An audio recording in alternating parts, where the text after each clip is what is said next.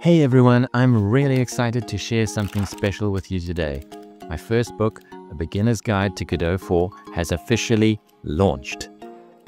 This book is written for complete beginners to game development, or anyone who's just starting out with Godot 4. Even if you've never coded a game before, you'll be able to follow along. And if you've dabbled a little bit in programming or Godot, it'll give you a structured way to build up your skills step by step. Now, you might be wondering, why pick up this book when there's documentation or YouTube tutorials already out there? Well, here's the thing.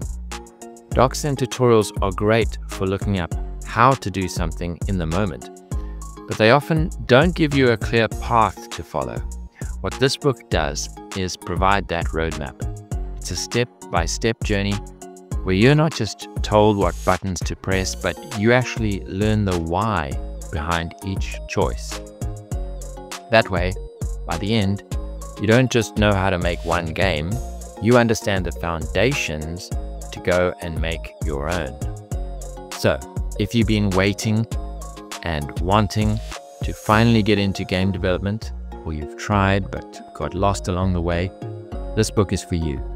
You can grab your copy now. The link is down in the description. And one last thing, your purchase directly helps me creating free content for this channel.